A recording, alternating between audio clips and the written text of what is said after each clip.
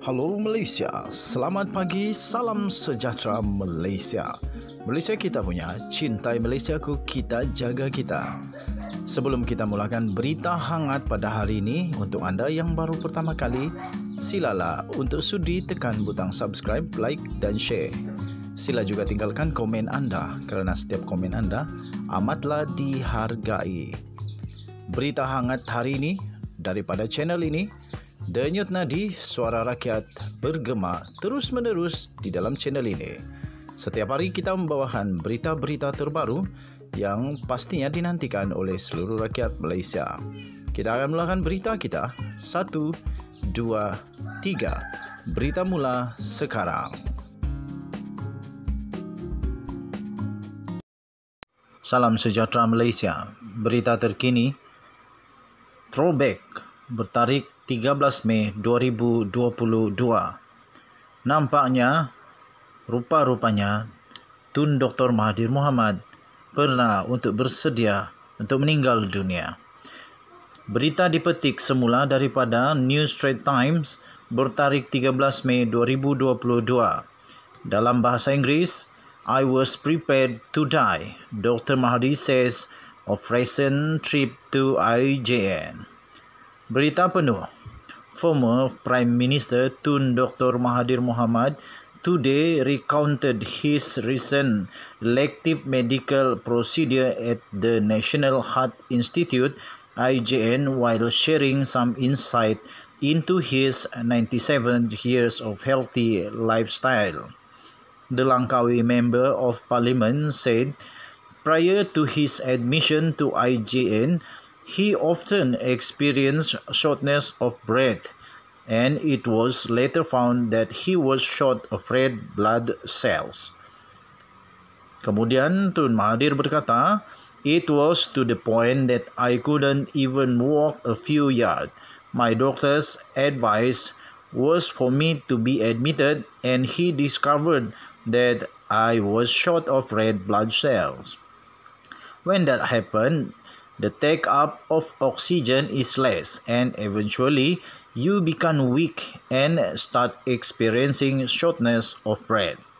The solution was very simple.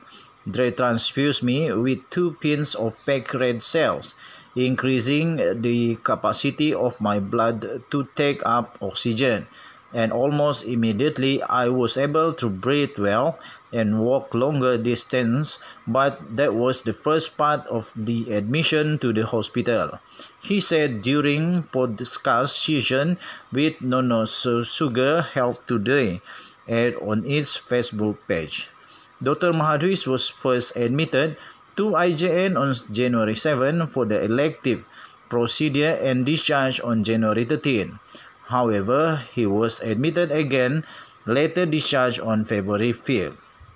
During his second trip to IJN, Dr. Mahadi said he was recommended to go for a pacemaker surgical procedure, a small device implant in the chest to control the heartbeat and prevent the heart from beating too slowly. Later, they told me I'm getting old and my heart will get weaker and it may stop. But the doctor said nowadays we have pacemaker. It will stimulate the heart to pump and so. I agree to have a pacemaker. Unfortunately, during the course of the operation, I was infected with some germs and become weak. I was slightly feverish and not well at all. I thought I was dying, so I said These are my last day and I was prepared to die. But the doctor didn't give up. A panel of doctors look after me and discuss what to do every day. They come to me and said, Today we are giving you transfusion of or medicine or injection and suddenly I found I was recovering. I was able to walk well. So thank you to the doctor. Aside from his unusual stop, stop eating if the food is tasty and eat in a small amount, Dr. Mahadi said he also continues to exercise regularly based on his maximum Ability. Sekian berita. Untuk mendapatkan berita lengkap ini, anda boleh melayari di New Straits Times bertarikh 13 Mei 2022 bertajuk I was prepared to die. Dr. Mahdi says of recent trip to IJN. Kita jumpa lagi. Selamat malam Malaysia. Bye-bye.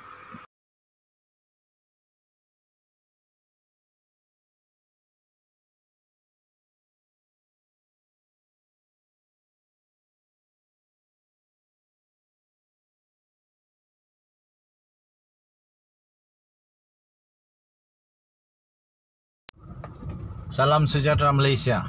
Ha. Tuan-tuan dan puan-puan dihormati sekalian, terbukti Badan Kehakiman Badan Kehakiman dan Perundangan Negara Malaysia berada di tempat yang terbaik sekarang. Ketika Zahid Hamidi dan juga ramai lagi yang lain mempersoalkan mempersoalkan badan kehakiman negara sampai ada yang duk pi serang kehakiman negara Perdana Menteri pun kena. Tapi terbukti pada hari ini tuan-tuan dan puan-puan yang dihormati sekalian bahawa badan kehakiman negara Malaysia seperti yang didakwa dikatakan oleh Tengku Razali Hamzah dan juga bekas ketua uh, hakim negara bahawa sekarang ini negara Malaysia punya badan kehakiman dan perundangan adalah yang paling bebas pernah ada.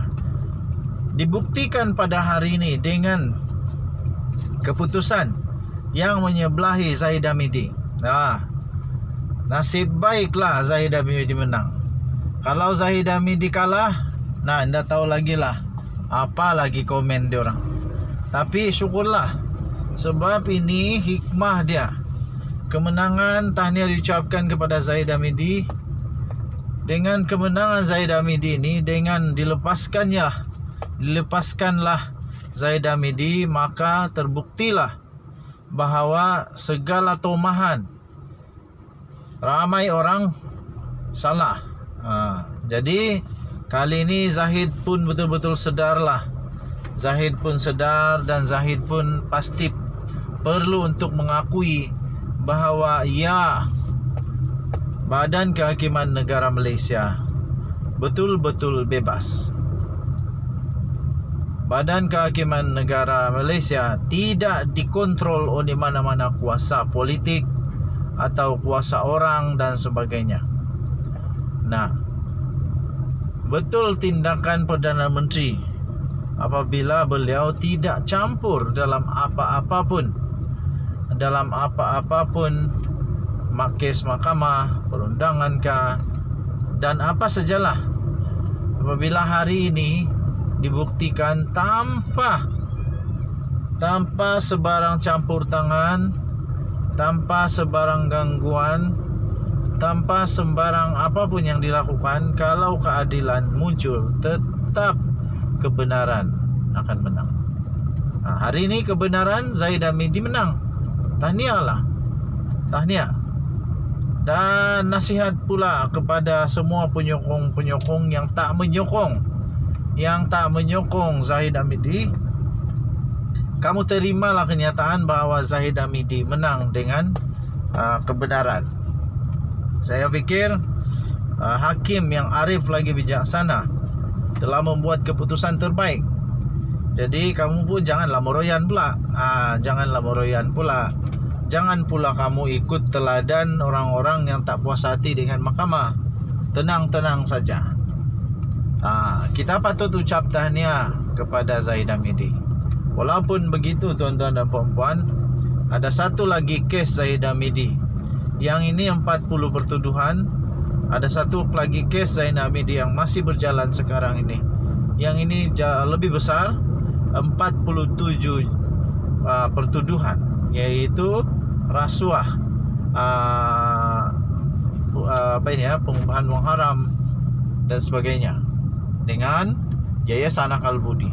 Yang ini uh, berkaitan dengan apa ya dengan itu VLN lah VLN yang satu lagi itu Yayasan Akal Budi. Ha, Yayasan Akal Budi hakim dia lain, bukan uh, hakim yang ini, tetapi ada satu lagi hakim iaitu Colin Lawrence Sekora. Okey, jadi kita nantikan bersama-sama apa keputusannya pula lepas ini. Uh, harap lepas ini jangan pula uh, marah-marah kalau Zahid kalah. Uh, sudah terbukti bahawa hakim perundangan negara Malaysia bebas.